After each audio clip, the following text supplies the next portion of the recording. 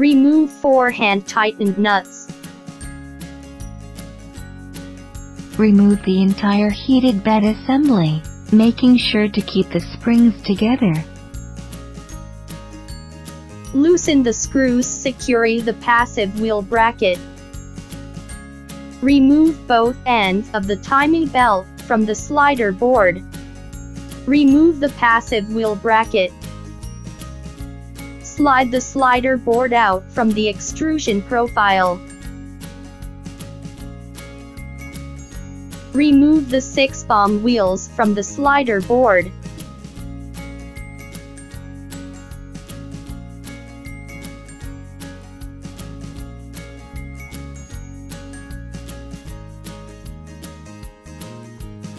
Secure the long bracket to the M40 nut with an M48 screw, but do not tighten it yet.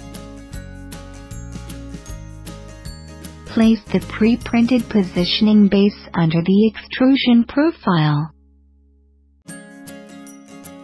Position the LOL bracket on the side of the extrusion profile.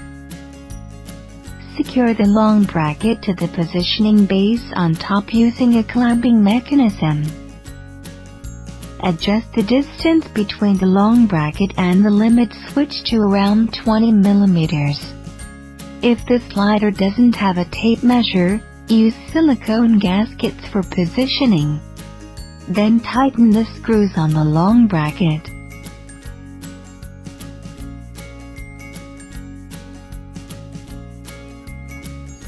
Secure the linear rail to the long bracket using M36 screws, starting from the rear of the machine. Place the pre-printed limit stop plate on the slider closest to the limit switch. Place two silicone gaskets together on the slider, with one on the slider with the limit stop plate. Position the short bracket on top of the silicone gaskets and secure it with M312 screws. Be careful not to over-tighten any screw. Adjust the screw tightness to allow smooth sliding of the slider. Place six circular silicone gaskets above the threaded holes of the short bracket. Secure the slider board to the short bracket, using M510 screws. Mount the passive wheel bracket onto the extrusion profile. Fasten both ends of the timing belt to the slider board. Adjust the tension of the timing belt and tighten the screws on the passive wheel bracket. Reassemble the springs and heated bed assembly onto the slider board.